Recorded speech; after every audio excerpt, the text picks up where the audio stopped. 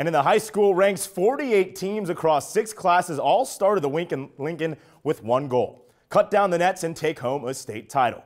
Today on Championship Saturday at Pinnacle Bank Arena, six schools making that dream a reality. We start in Class A, top-seeded Papio looking for its first state title in 24 years. And the Monarchs' Ed Chang playing on a bad ankle tonight against Norfolk.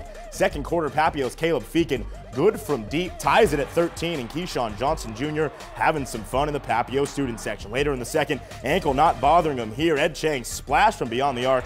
Papio up 21 to 20 at the half. Third quarter, Norfolk's Logan Strom working hard down low for two of his 12 points.